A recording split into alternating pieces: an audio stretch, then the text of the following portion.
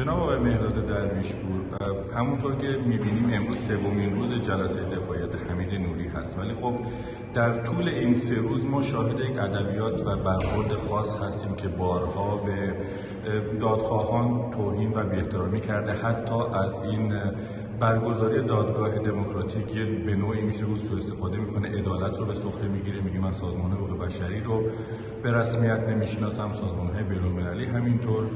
و در حقیقت ادبیاتی که ما از سران دیگر جمهوری اسلامی هم می‌بینیم. شما این رو چطور تحلیل می‌کنید؟ ببینید دو نکته رو به گمان من در این رابطه خوب مکسی اندکی بکنیم. یکی اینکه نظام های توتالیتر بر یک نوع نارسیسیسم جمعی استوارن. که حقیقت دست اونهاست و نه دست کسی دیگری. یک باور بسیار متعصبانه نسبت به اون دارن و حتی از همه جنایت هایی که می‌کنن با افتخار دفاع می‌کنن مگر آنکه ساقط بشن. وقتی هم که با سقوط رو به رو میشن اون موقع مکانیزم های انکار یا مکانیزم های توجیه به صلاح برجسته میشه. توی جمهوری اسلامی ایران هم امروز که به خاطر اینکه سر کار جهانی رو به سخره گرفته در حوزه حقوق بشر در حوزه برابری جنسیتی و تمام مسئله دادخواهی و غیره نوعی از موضوعی سعی می‌کنه قدرت نادیده بگیریم صداهای دادخواهی رو.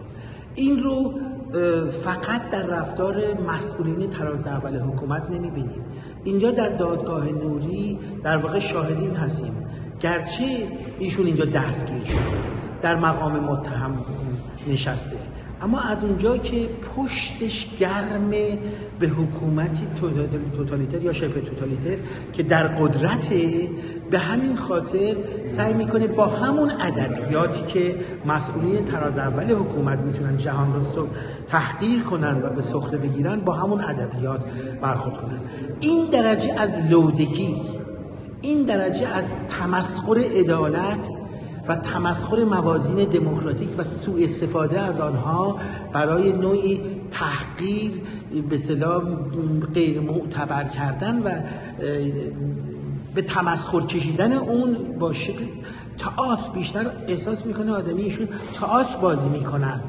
این گونه برخورد فقط ناشی از اینه که به نظرم یک اون حکومت سر قدرته و بنابراین نه تنها سر سوزنی حس شرم حس به صلاح ترس رو بروز نمیدن از خودشون بلکه سعی می‌کنن با از موضعی از بالا با تمسخر کردن و تحقیر کردن نوعی اون جنایت رو در صحنه دادگاه هم تداوم ببخشن این یک نکته به نظر من مهمه.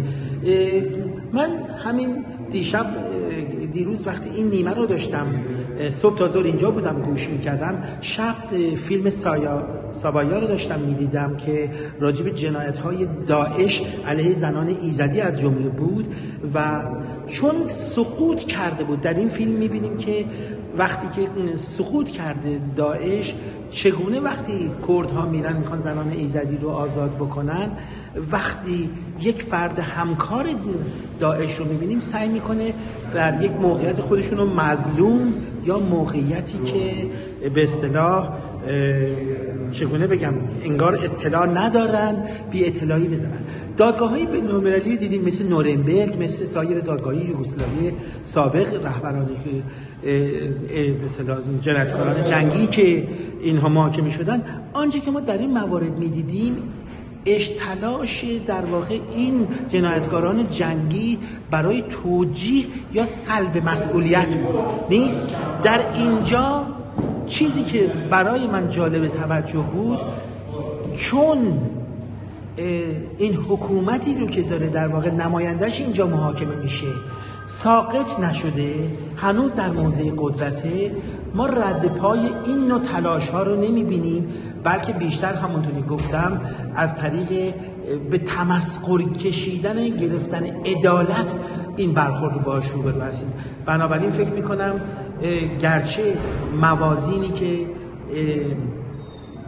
موازین جامعه دموکراتیک ما یک سر دفاع ازش می‌کنیم و اینها دارن نهایت سوء استفاده رو از این امکانات می‌کنن اما باید فراموش نکرد. تا زمانی که حکومت ساقط نشه انتظار این که جنایتکارانش از این دست به سادگی حاضر باشن از مردم عذرخواهی کنن یا رد پایی از شرم به عنوان یک حس انسانی درشون ببینیم خوشخیالی محض و فکر می‌کنم تلاششون اینه که مخالفینشون رو افکار عمومی دموکراتیک رو تحقیر و تمسخر کنن و این این شالوده تمام این دفاعی است که ایشون دیروز و امروز من شاهدش بودم انجام. خب همونطور که می‌دونیم بازی هم امروز بهشون تذکر داد و ازشون خواست که متناسب با دادگاه را برخورد بکنن رفتار بکنن و احترام دادگاه رو نگه دارن. ولی نکته ای که در صحبت های حمید نوری هست اینه که فقط به انکار بسنده نمی‌کنه بلکه قلب و جلب جعل واقعیت هم هست. یعنی سعی می‌کنن کاملا یک روایت دیگر به قول خودشون یک دید دیگر رو ارائه بدن. این رو چطور میشه ببینید خب کل نظام های توتالیتر و شبه توتالیتر بر یک دروغ بزرگ استوارن نیست؟ بنابراین دروغگویی بخشی از این مکانیزم برای توجیه خیشتن توجیه در واقع رفتارها و غیره هست. این رو از این نظر به گمان من هیچ چیز عجیبی نیست که می‌بینیم که یک سره این نوع دروغ پردازی و این نوع در واقع قلب واقعیت هست.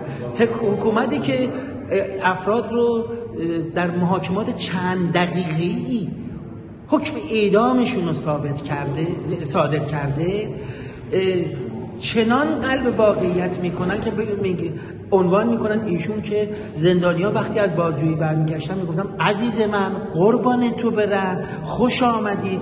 و این درجه می‌دونید از قلب واقعیت و همونطوری گفتم تلاش برای عصبی کردن مخالفینی که می‌دونن این دادگاه رو با, با جدیت دنبال می‌کنن و به سخره گرفتن دادگاه سوئد گویا اینها انقدر احمقن یا نادانن هر قلب واقعیتی رو میشه به عنوان حقیقت به خوردشون داد. اشاره کردم وقتی نظام های توتالیتر بر یک دروغ بزرگ استوارن که انقدر خودشون تکرار می‌کنن که باور باورشون میشه اصلا دور از انتظار نیست که ما شاهد این باشیم که نماینده های دست چندمش در یک دادگاه دادخواهی سعی کنن از این روش ها استفاده کنن. هم برای تحقیر این دادگاه های دموکراتیک جنبش دادخواهی هم برای عصبی کردن مخالفینشون. ولی خوشبختانه برخورد همه مخالفین نسبت به این ماجرا برخوردی بسیار پخته به گمان من و این نشون میده که این جنبش دادخواهی روز به روز پخته تر میشه. با حوصله برخورد می‌کنه. هشت ماه هم اگر این دادگاه ادامه پیدا بکنه مخالفین این حکومت و دادخواه جنبش دادخواهی به دام این تحریک ها تمسخرها و قلب واقعیت ها نمیفته و راه خودشون خیلی از شما سپاسگزارم آقای درویش.